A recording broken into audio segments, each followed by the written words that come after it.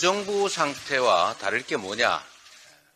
전쟁 나도 각자 도생하라는 말이냐?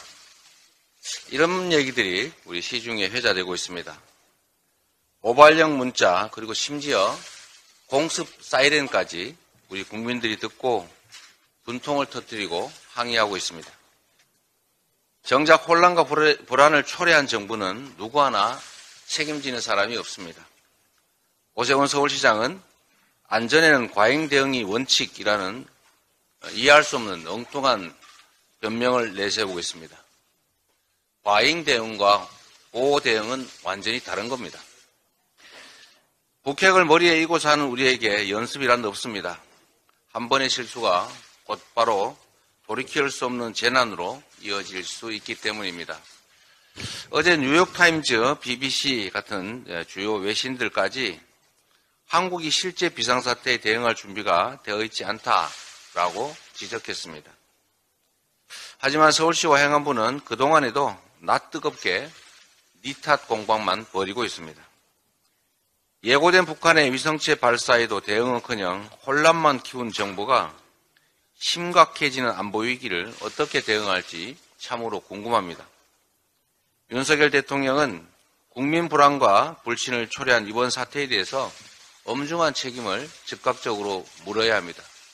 그리고 국민께 그 경과를 소상하게 밝히고 새벽부터 공습 사이렌을 울려서 우리 국민들께서 아 이러다 우리 가족 정말 어떻게 되는 것 아니냐 라는 그런 불안감을 가진 점에 대해서 사과하는 것이 맞습니다.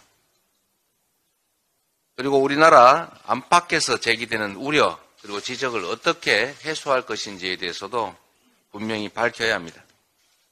무정부보다 못한 무능정부라는 오명은 윤석열 정부의 몫이 되긴 하겠지만 생명과 안전은 우리 국민 모두의 것이라는 점을 명심해야 합니다.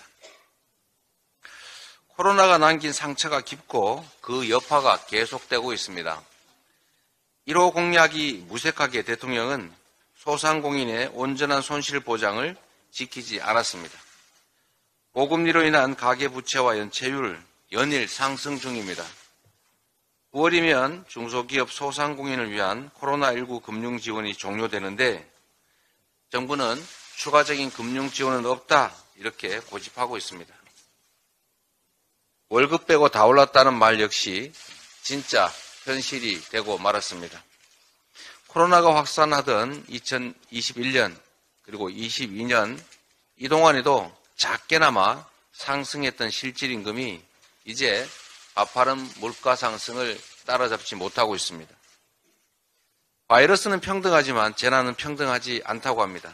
그래서 코로나 이후에 심화된 민생 경제 위기 극복을 위한 정부의 노력이 더욱 절실합니다.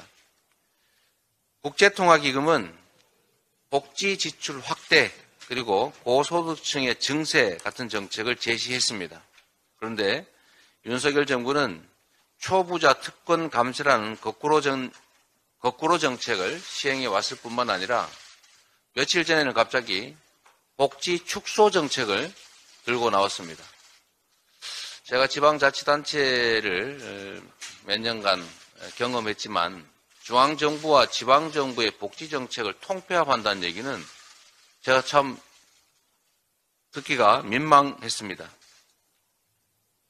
정부는 이제라도 수출 정상화, 경기 회복을 위한 대응 방안 마련을 해야 합니다.